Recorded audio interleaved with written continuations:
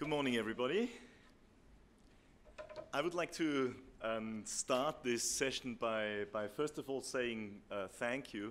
Thank you to Didem and her team for the invitation to speak at this uh, prestigious conference. I'm delighted and, and I'm honored uh, to be here with you today. And I would like to thank uh, my sponsors, uh, Cambridge University Press, uh, for bringing me here. Thank you uh, to you too for deciding not to stay in bed. Um, voodoo economics and probably voodoo uh, teaching too. If you asked uh, a group of colleagues what they um, thought were the factors responsible for the students' um, boredom, you would probably get um, some very different answers. A boring uh, teacher, lack of motivation, the wrong teaching approach, perhaps just a suspicion that the subject matter itself is not um, uh, extremely inspiring and exciting for those um, students. Well, these answers, of course, have all some truth um, in them. But ultimately, what really causes the students to behave the way they do is the students themselves, or uh, their brains, rather. And there is a key reason why their brains actually make them behave the way they do, and that reason is um, emotions. And this is what we're going uh, to look at in this um, uh, session the, the role that emotions play in language learning, and I will claim it's a significant one.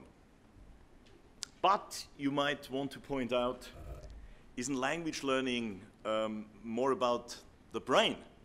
And therefore, anything but the emotions. Uh, such a skeptical thought wouldn't actually come as a surprise. After all, language learning is, is often associated with understanding complex um, grammar structures, uh, learning long lists of lexical chunks, words by heart, remembering syntactical constructs of all kinds, um, and so forth. In other words, uh, success in learning a foreign language is frequently associated with making a lot of mental effort. The separation of, of logic, higher order thinking, reasoning, um, uh, from uh, emotions actually goes, goes uh, back about 2,300 years to the ancient uh, Greeks. Aristotle famously um, set out uh, his, his three elements of persuasion that, that any speaker, including uh, teachers, of course, must use in order to communicate a message effectively. Ethos, ensuring the audience perceives uh, the speaker as possessing credibility. Pathos, arousing in the audience uh, emotion, sympathetic to the speaker's uh, viewpoint. And thirdly, logos, uh, proving the truth of the message by logic and reasoning. The crucial part of this is that Aristotle, whose livelihood um, was, of course, provided by, by logic and reasoning, asserted that human reason is the most godlike part of human nature. Life guided by human reason is superior to any other. For man, woman didn't exist in those days. For man, this is the life of reason, since the faculty of reason is the distinguishing characteristic of human uh, beings. His clear approval of the combined ethos and logos has, over the more than 2,000 years, since he articulated this, this formula for rhetorical success, been handed down to us uh, via the shakers and, and movers um, of the, the Western world and many other countries. Those two factors combine, combined have gained even higher status from their apparently unassailable um, position at the heart of academia and the scientific method. So they are strongly and deeply embedded in our overall view on the way the world works. We have scientific thinking and we have emotions, and the two things have very little to do with one another. However, in recent um, years, pathos, emotions, um, has been brought to the forefront by cognitive scientists. Uh, indeed, of Aristotle's three elements of persuasion, modern thinking now compels us to, to give emotion considerable higher status than had previously been the case. Uh, this is a quotation uh, that comes from uh, Lazarus and Lazarus' work. They're two neuroscientists, and they stress that many myths exist about um, emotions. One of them is that emotions are irrational and don't depend on thinking and reasoning. Actually, they say emotions and intelligence go hand in hand, which is why humans, highly intelligent uh, beings, are such emotional animals. Um, one of the, the first language teaching uh, authorities that actually pointed at the importance of emotions in the uh, learning uh, and, and, teaching and learning process was Earl Stevick. In his uh, book, uh, in his seminal work, Memory, Meaning and Method, he stressed that emotions play a very important uh, role, uh, while pointing out that just how these emotional factors influence the process of memory is still the subject of some discussion. In this talk, I'll give you a big smile. In, in this talk, I'll be drawing on some new findings from neurobiology to discuss the, the role that positive and negative emotions um, uh, in engaging adult students um, in the foreign language class play. I'll also be referring to some key insights into the impact that emotional processes have on memory. So maybe as an answer to the, the question that that Earl um, Stevick is raising here. But I do need to stress, as, as those of you who know me uh, know, uh, that I'm not a neuroscientist. I'm a language teaching uh, methodologist. Um, the, the insights, uh, or most of the neuroscientific insights I have gained, um, have come from the work of James Zull, professor of neurobiology at Case Western University in, in Cleveland, Ohio. Um, I've drawn on his books and on our intensive discussions while uh, working together on a, on a book project. It's still an ongoing project. Our working title is The Brain, Emotions, and uh, Language Learning. Successful language learners, when you talk to, to your students who are successful, and I'm sure you have many of those students in your classroom, they often, or your classrooms, they often uh, refer to the learning process itself or the language they are learning as giving them pleasure. Um, I've, I've recently held an interview with a young adult student. He's, uh, when I held the interview, he was 17 and a half. Um, a friend of mine who is actually his teacher uh, pointed out to me that he has this student in his class in, in Vienna, in Austria, who has successfully learned six languages, um, uh, two of which he learned at school and four he learned um, himself. And, and uh, I, I, was very keen. I, I, immediately asked if I could interview uh, this young guy, and he, uh, he, he was an amazing source of, of wisdom. Actually, he almost blew me. The first thing he said was, he quoted Wittgenstein, you will see in a, in a moment. So I asked him, you know, what motivates you uh, to learn languages. And he said, my interest in languages arose when I started to read lots of books and watch um, lots of films and listen to music.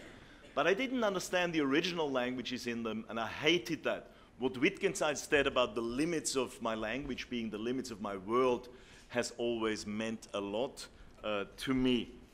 And he continues, when I first learned English and Italian, I noticed that with each of these languages, I gained a new insight into reality, and that was a fantastic feeling.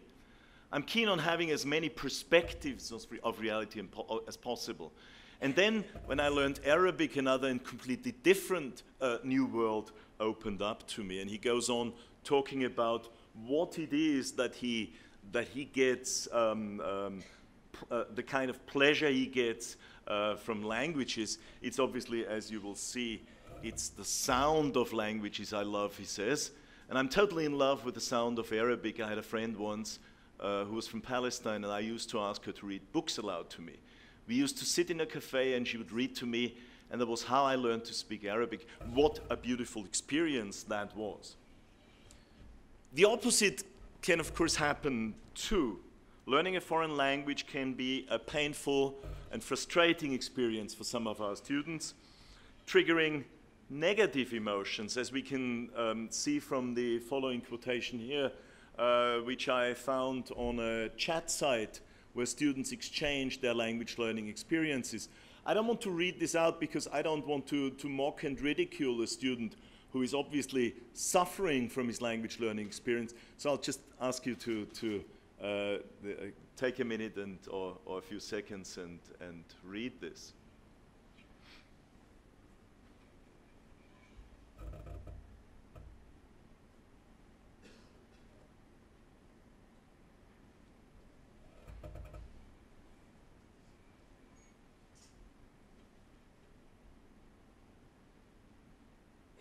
So it's a clear reference to, to feelings, to feelings that are obviously not very positive, you know, feeling ashamed, blushing, being inhibited, feeling awful probably about oneself. If we uh, could talk to this student um, a bit more, we would probably find that.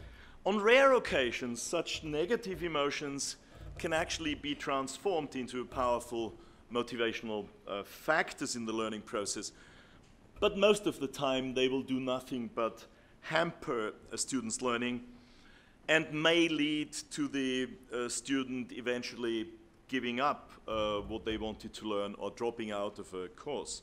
I'm sure that everyone in this room um, has come across such sad incidents. And as teachers, of course, we, we suffer uh, when they actually happen. Anyway, time forbids to um, forbids me to discuss negative emotions uh, in this talk, and I will instead focus on student engagement through positive emotions. In order to shed light on why emotions um, play such a crucial um, uh, role in language learning, I believe what we need to elaborate on first is probably the single most uh, important discovery about how the the brain actually works. Whenever we learn, our brain uh, changes. We can understand this by looking at the brain um, in a new way. Many, many people, also um, teachers, um, have got the idea that our brain is a sort of um, container whose job it is just to, to store information that teachers pour into it and that uh, students later on need to, to retrieve. Um, well, actually, it's, it is not like that. It's not, it's not uh, such a simple, uh, this metaphor, this simple metaphor, does not, is not really in line with what uh, neurosciences uh, have come up with. This slide, well, yeah, no. Okay, this slide um, shows you a part of the frontal cortex uh, it's actually normally called the, the um, gray matter, the, the part of the brain that I'd like to point your attention to. Here it's pink, I have no idea why. it's the pink matter for the time being. Um, the, the, the pink matter, the gray matter, uh, or also called the, the neocortex, is the, from an evolutionary point of view, the youngest part of the human brain. Um, this part is responsible for all kinds of higher order thinking. It's the skin over the brain. It's about three to five millimeters uh, thick. Um, it's responsible for higher order, sophisticated thinking, analyzing, making plans, giving motor commands, spatial reasoning, conscious thought, um, and of course, um, uh, meta-linguistic um, cognition, thinking about language. These are the, the brain functions that the animals don't usually have, or at least not to such a sophisticated um, degree as, as humans do. The neocortex, um, as, as you know, is, is um, and as we can see from here, it's folded, and the basic idea is uh, when you take a piece of paper and you crinkle it, uh, it becomes smaller. In other words, we can get more of this tissue into a relative limited space like the uh, the human um, skull. Uh, what we can see here from this image, I got this from uh, James Zull, is actually four photographs. They, are pretty um, rare to uh, these, these photographs of um, tiny, tiny, tiny strips of neocortex. So we can see uh, four bits of neocortex from uh, babies' brains at different stages uh, in their development uh, if I can read this correctly, it says three months, five months, or six months, uh, 18 and 24 um, months. Um, uh, the older the child gets, obviously, the more growth there is in the cortex. Now, you can see these, these dark dots here. They are the so-called uh, neurons or, or nerve cells. And what we can see growing between them is what neuroscientists call uh, neuronal uh, networks. We can clearly see there's been a change here. Uh, there is growth as the child is getting older, and from what we know, there's one reason for this growth, and that uh, reason is learning. Without learning, there wouldn't be growth, there would be no change in the brain. Zull's research stresses that the brain changes physically, and we can actually see that happen. Of course, uh, these, these tiny strips, I forgot to say, have been enlarged um, uh, quite significantly. Um, so, uh, also stresses that the change, the growth, uh, is most extensive and powerful when emotion is part of the learning process which seems to strongly, by the way, um, support Stevick's observation about the importance of depth, as he called it, in the language learning uh, process. Uh, Zull explains uh, further when he says the chemicals of emotion, oops, the chemicals of emotion such as adrenaline, serotonin, and dopamine act by modification of synapses, and modification of synapses is the very root of learning. So these, what looks like bushes in our back gardens, they grow uh, as a result of a chemical and also electric process um, um, which is, is uh, initiated by the release of um, those and other hormones, basically, uh, in the human uh, brain.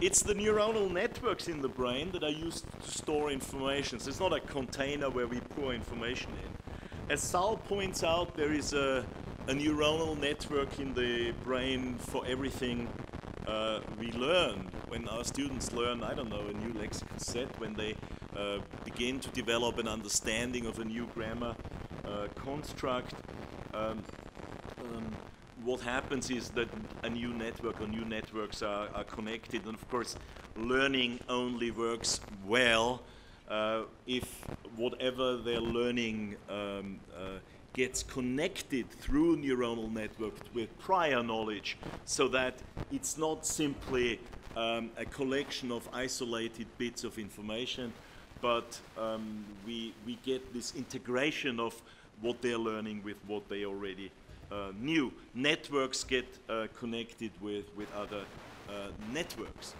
But we do not only um, use our neuronal networks for information storage. Um, we use them when we um, recall information and when we are creative, when we produce new things, uh, which is, uh, of course, a, a, very, very important um, uh, factor in learning. Uh, Zull compares those networks with the plants we have in our back um, gardens as a, as a metaphor. Now, now the question, of course, is um, what is the fertilizer that makes those networks um, grow? And the answer is emotional engagement.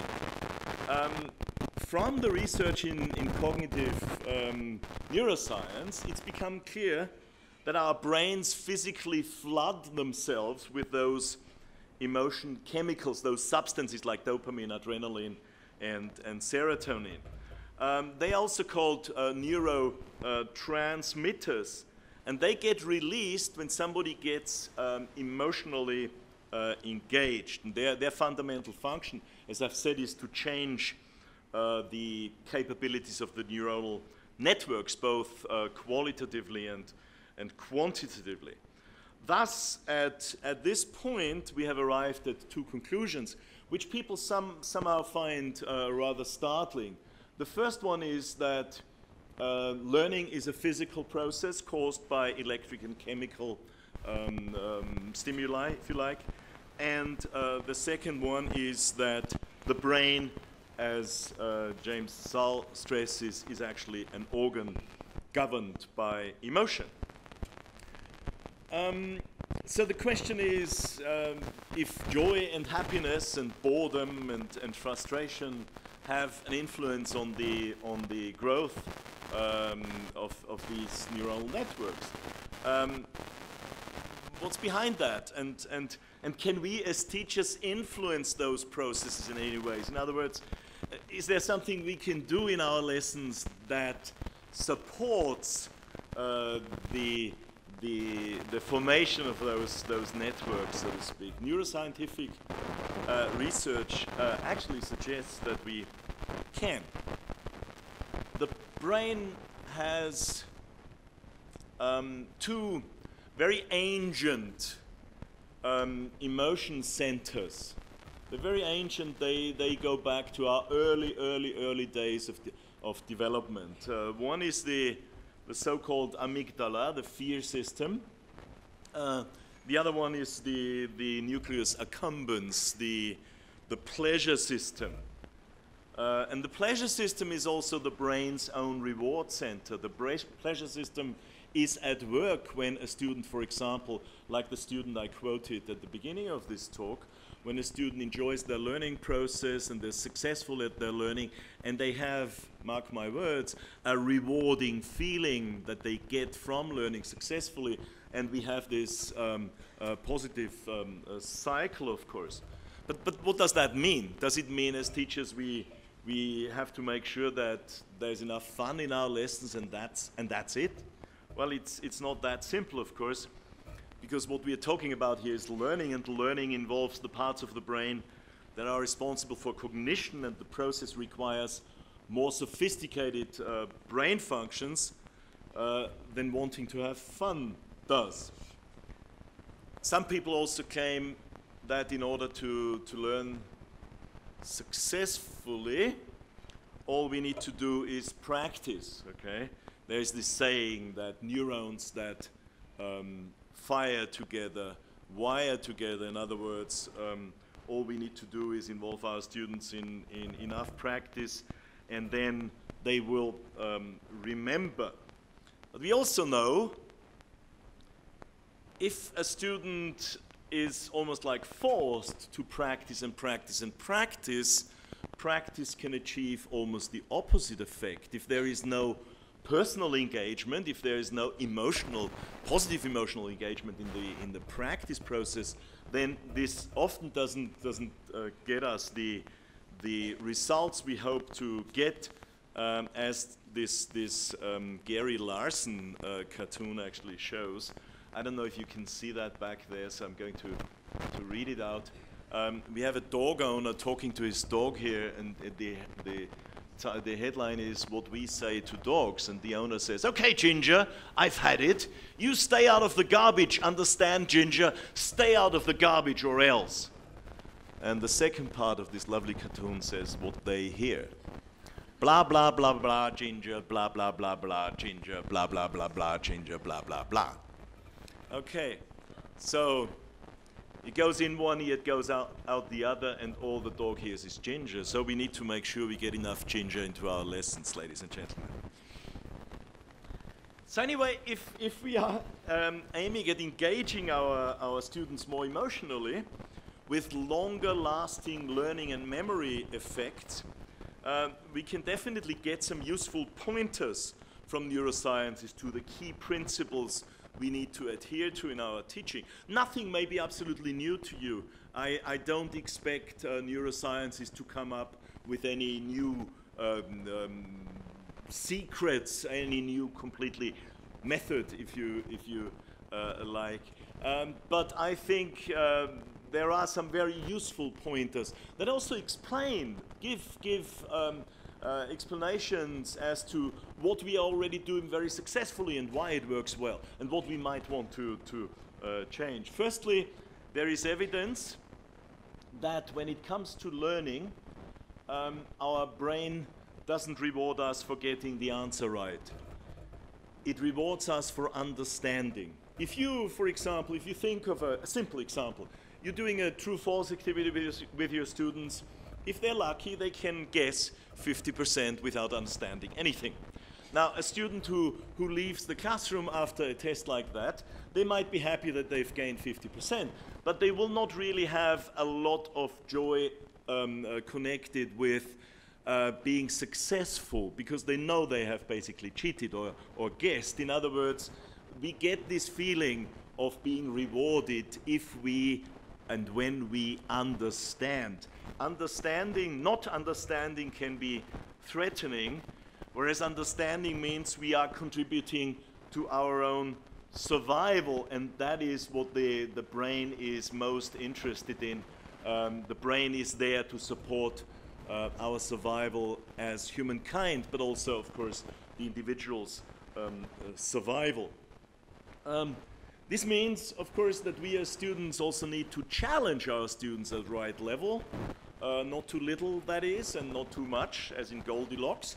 We know that students who, who uh, and that's certainly not a new claim, but we know that students uh, who don't get challenged enough will feel bored.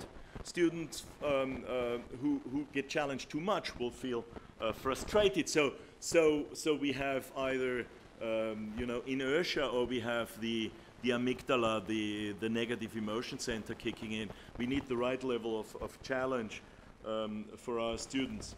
Um, uh, Jacobs and, and Farrell in their new book on, on ELT talk actually um, about uh, the development of thinking skills in ELT as one of eight what they call paradigm shifts. So, so a, a, a focus on developing thinking skills at the same time as we uh, teach language. And there has been a noticeable movement um, recently also towards engaging students, oops, in, in what is called um, critical thinking. No, I wanted to go back, not to this one. Um, critical thinking or um, also higher order thinking. Secondly, neuroscience uh, stresses the importance of relevance, which according to Stevick again, um, is the connection we make between something we perceive outside ourselves and something um, within us. When we regard something as, as relevant um, to us, that connection is made. And the brain actually releases those, those emotion uh, chemicals. We see that also, just to, to give an, a, an example, when we go to a museum or a gallery. Um, we, we, we might look at, at a range of exhibits. Some of them don't speak to us. Some of them just don't engage us emotionally, while others, we look at them and something happens there, something clicks, we find this image or this sculpture, would have you, as, as emotionally um, engaging. Some, some people can, can even almost feel the physical effects that the release of those, those chemicals actually have on them. But definitely, whether we do become aware of those uh, effects or not, we know that uh, positive emotional engagement um, forms lasting and long-lasting memory. When we look at something that engages us, uh, experience something that engages us emotionally, we remember it longer, we remember it better. Um, for us as language teachers, relevance obviously has to do with the content of our, our lessons. Uh, with the, the, the, reading text, with the listening texts uh, that we want our students to, to um, uh, read or, or, listen to. Relatively easy to get right, I, I, think, for adult students if, there are, if they are um, in an EAP or ESP uh, class. In general English, maybe not always so easy. uh, especially when students are at, at lower language uh, levels and their content um, relevance can be quite a big um, challenge um, for us. The third point, I'll come back to this in a, in a moment. The third point is that Zull argues that there may be a connection between the release of, of dopamine uh, and action, both physical action and mental action, imagined action, imagined um, uh, movement also, as he, he calls it. Um, according to his arguments, students um, enjoy a successful learning process because there is movement um, inherent um, in it, or progress, um, uh, metaphorically speaking. This happens, for example, when we get engaged in a process that starts with facing a challenge, when we are in a problem situation and we need to solve a problem, we, we move from a stuck state towards a solution. So there, metaphorically speaking, there is there is uh, progress. Zull actually says success is progress towards a goal, and nothing succeeds like success, and we know that from our students. This could be one of the most important aspects of intrinsic motivation. Achievement itself is rewarding, and that may simply be because it's recognized as movement um, by the brain. We see that also when we read um, narratives. Um, when we read narratives, of course, we don't move normally when we watch a good movie or when we, we, we, we read a book. Oops, it's getting stuck here. Uh, but, but Zull says here what actually happens. You know, it's one o'clock in the morning, you can't put that book down, although you know you should be going to sleep because you have a, a challenging day tomorrow. Uh, but what happens is we are so um, emotionally engaged because we want to know where the story goes. We want to know the direction the story goes. And this is my argument is that we get enjoyment and satisfaction through anticipation of movement and imagined movement. In fact, this is probably the most important thing that keeps us reading a good book or watching a movie. We want something to happen or we're curious about what will happen, anticipated movement, and we are, of course, delighted when the story moves in the right direction and disappointed when it um, doesn't. Um, so what I would like you, just as a, a, short reference experience, if you don't mind, I would, I'm going to ask you to, to observe your own cognitive process now, maybe also your emotional engagement. I'm going to present to you a, a piece of text in a very unnatural way. I'm going to show you the first sentence only, and then I will pause. And while I'm pausing, I would like to ask you to ask yourself, what do I expect next? Or where do I hope the story goes in terms of the direction uh, it will take? Okay? Ready?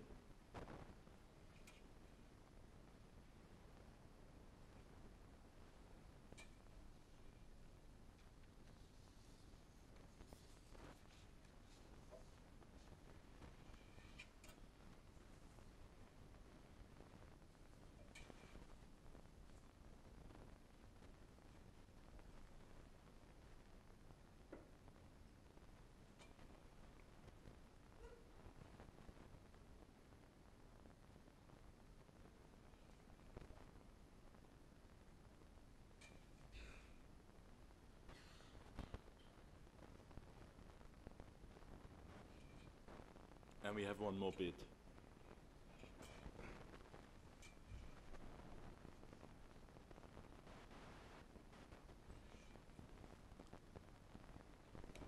If we had the time and if this was a, a small audience, we could now actually discuss um, which the points were where each of us was most uh, engaged emotionally and what we were expecting at, at, at, at which point. This is actually uh, from a true story. It's the, the story of um, uh, what's his name, uh, Jonnie Peacock, who who won uh, the gold medal at the 100 meter race at the London Paralympics in, in 2012. And, and students usually get very inspired and, and emotionally engaged when they read um, texts like, like this.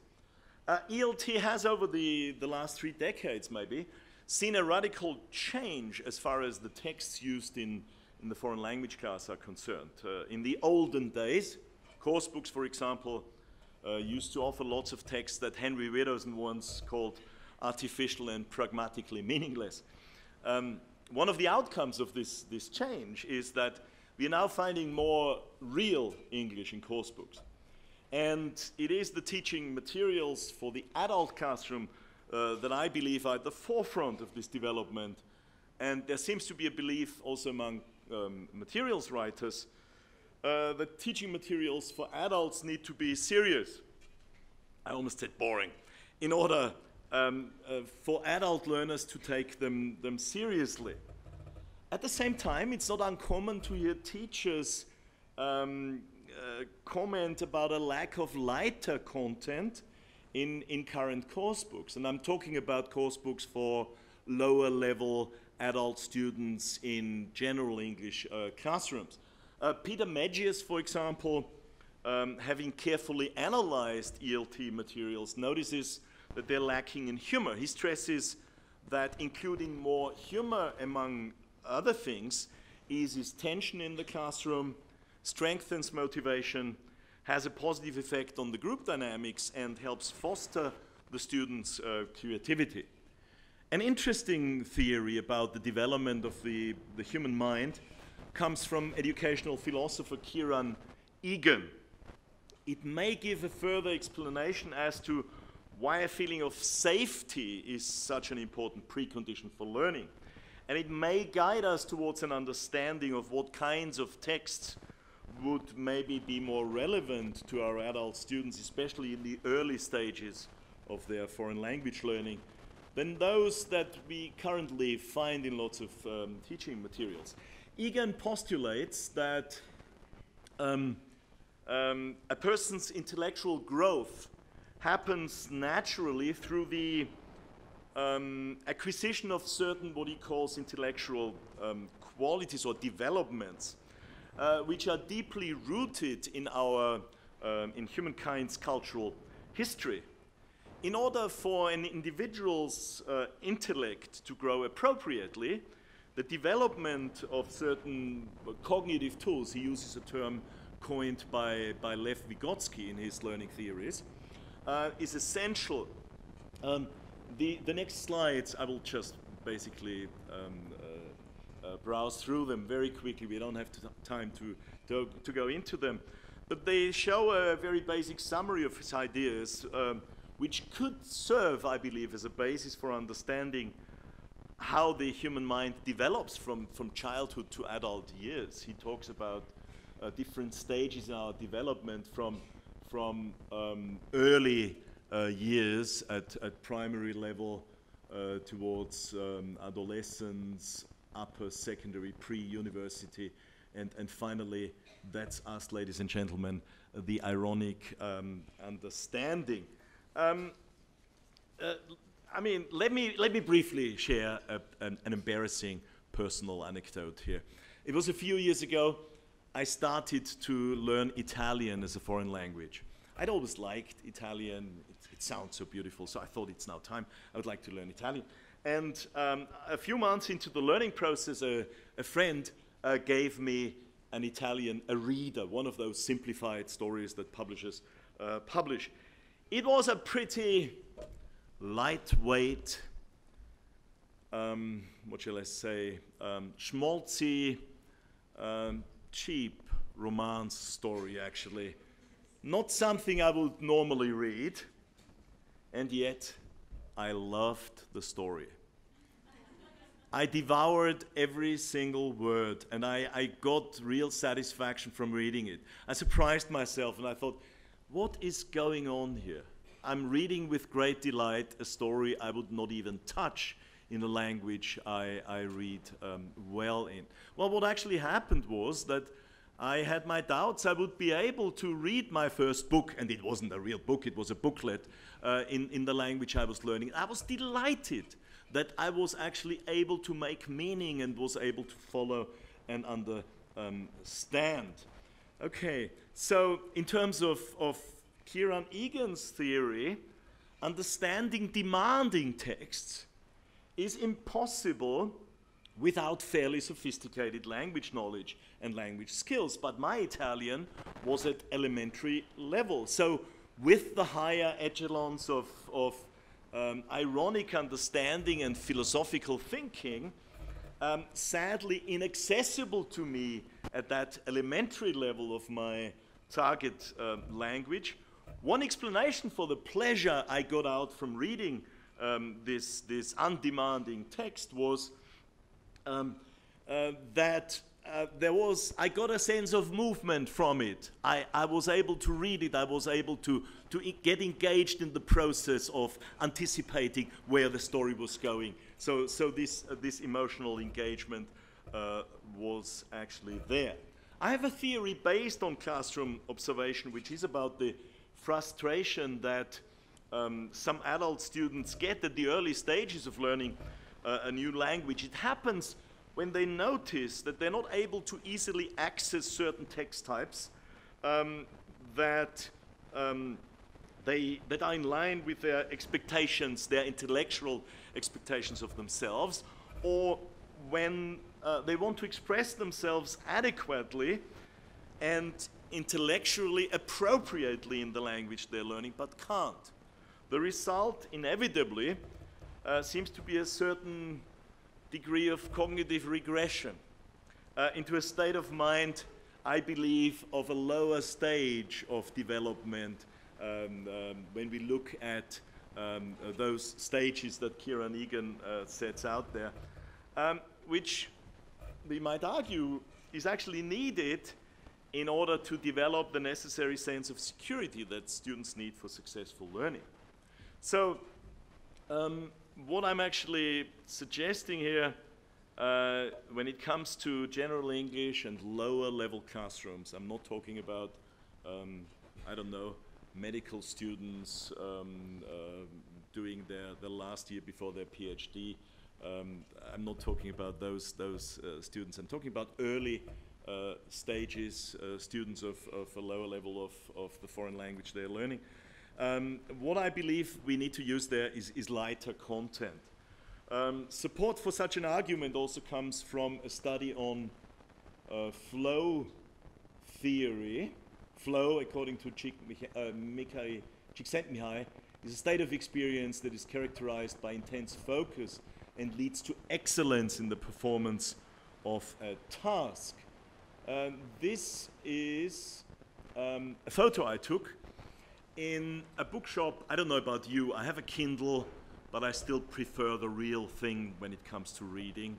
I even love smelling uh, books. Um, this photo I took in a bookshop on the outskirts of Rio de Janeiro, Brazil. I, I gave a talk uh, in that bookshop. And I took that photo just before, before closing hours, but actually during the day, the, the bookshop was chock-a-block with people. And I took another photo of a rather remarkable situation. I'll show you the photo in a minute. I, I was walking through the bookshop and I was really delighted and I saw in that bookshop a little girl. She was tucked away in a corner. She had taken a book and she was reading. This is the photo. I, it's a blurred photo. I, I blurred it because I didn't know who her parents were. I couldn't ask them for permission to, to use the photo, okay? That's why I blurred it. So she was reading there, and she was completely undisturbed by all the chaos and all the noise. So uh, she is, uh, in a way, I think, a perfect example of what Joy Egbert, in her study on flow theory in the foreign language classroom, um, calls focused attention. And there is a study by McQuillan and Conde about what kind of texts support uh, this inner state. What kind of texts help our student at first and second year at university to, university to get into this inner um, state of focused attention, as Joy Egbert uh, calls it. And, and McQuillan and Conde actually conclude that most of the texts that supported flow were those that participants had read for their own enjoyment, ones, ones in which they had interest, and those in narrative form, partly because it was easier to focus on these um, texts. So, for a change, why not use with those students um, content elements such as um, humor, strong emotional contrasts, inspiring stories about about real uh, life heroes and heroines, such as the one about uh, this, this, this runner that I uh, presented previously. uh, texts about the extreme, um, the absurd, and the, the weird and wonderful, at least at the earlier stages of the learning process. Another key point has to do with the images we use in our, our lessons.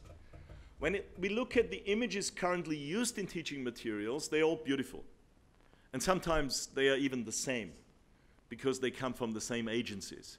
They're beautiful, but there is also a certain blandness about them. There, there's, there's some, some beautiful blandness um, about them, actually.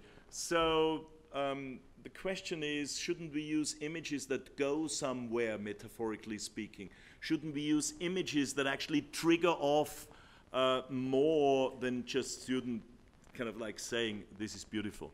Uh, have a look at two images here, if you don't mind. Um, a and B, and tell me which of the two images you think is more likely to trigger off uh, from our students uh, this emotional engagement, a, a, curiosity where the picture is going, so to speak. A or B? Yeah, I don't think we need to discuss this. It's, it's, it's pretty clear, isn't it? This one is, is beautiful, but it's an agency photo. It could be used in any advertisement. And by the way, I was in Cyprus three days ago. I was driving with, with Devrim when suddenly I saw on a billboard this image. Only watch it where, where there were a few glasses of water in the picture I had. There is now a certain soft drink that shall not be named. Okay, um, so the fourth of the, the key principles pointed to uh, by the neurosciences um, is ownership. We know that little children, um, when, when we want to do things for them, at certain stages in their development say, I want to do it myself. They, they, they, they need that. They need the sense of being able to do things um, themselves. Um, so um, that's a, a, very, very important thing that has to do with, um, with, with creativity. It has to do uh, with expressing ourselves in the foreign language class.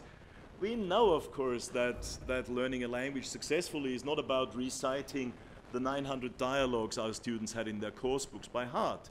We know that they need to go beyond that. They need the ability, they need the language they learned there, but they need the ability to go, to go beyond uh, those, those blueprints of, of uh, interaction. Um, so what we actually need also in the classroom, we need experimental learning processes where this appropriation process can actually happen. Uh, I'm using a term um, uh, coined by Scott Thornbury, who says learning a skill is not simply, he's talking about the development of speaking skills. Learning a skill is not simply a behavior like practice or a mental process like restructuring. Central to the notion of transfer of control is the idea that aspects of the skill are appropriated. Appropriation has connotations of taking over the ownership of something, of making something one's own. We, we want our students to make the uh, foreign language or the, the new language they're learning their own, of course, okay? Now, of course, this means that um, our students will need to experiment with the language. Th this means that um, the fallacy of um, error-free learning just doesn't work. It means that uh, error-free learning needs to be replaced with phases where error-welcoming modes of engagement are, are not only possible but, but um, uh, integrated. And uh, this also means a partial uh, move from instruction-led pedagogy. I'm not against instruction uh, at all. I'm also not against uh, phases where, where it is the teacher who is the boss in the classroom. But we also need phases, of course, where our students can um, uh, experiment in a hands-on and, and, and minds-on um, way. Okay, now let me um, summarize um, what we've been looking at in terms of the positive emotional um, systems of our students' brains. So we said emotional engagement, first of all, comes from, from challenge. Um, the second point is engagement comes from content that is relevant to our students. In other words, is seen as important for our students, important for their own future, uh, that is. Thirdly, we need to make sure that students get plenty of opportunities for what James Zull calls anticipated um, uh, movement. Um, uh, this has got to do with another point that I will add briefly then. Uh, point number four, let's uh, make sure we give our students plenty of learning experiences that make them aware that they own the language. They are gradually uh, gaining more and more control over it. And I have added two points here that I didn't have the time um, to, to discuss really, but uh, they are two points that, that are definitely not new claims, but they're extremely important.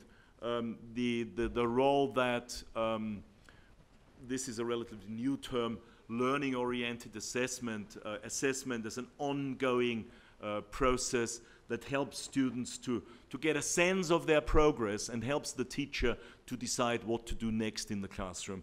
That these, these um, factors um, uh, play. And last but not least, of course, um, we will get our students more emotionally engaged if we manage to um, get them to develop what some people call personal response ability. I would like to, to um, finish uh, this talk uh, by quoting the student again who has the, the 18 year old who has successfully learned um, six languages. Uh, you remember in the, in the first quote I, I used, he was talking about the pleasure he gets from language itself or from certain aspects of the language. And, and here at this point in the interview, I asked him uh, what he thought uh, teachers should do or what advice um, he could give to teachers. And, and uh, this is what he uh, said. He said, I think teachers should be encouraged to forget the idea I have to teach the language in exchange for I want my students to learn the language by showing them what the attraction of language is. A teacher has to make the language interesting, and that's the same with other subjects, of course. The thing is, though, he says, that if you are a teacher of biology, all you have to hand in order to make biology interesting is biology per se. But with languages, it's different. Language is about culture, it's about music, it's about film, it's about literature, it's about people, it's about you and me. Thank you very much.